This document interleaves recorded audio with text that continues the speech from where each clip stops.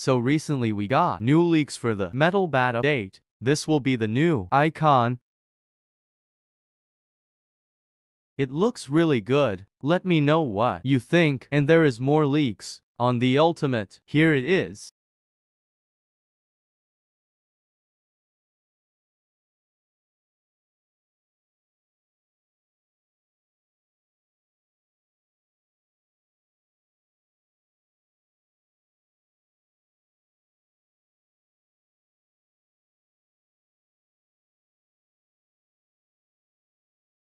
Anyways that's it for today. Hope you enjoyed it. See you guys next time. Bye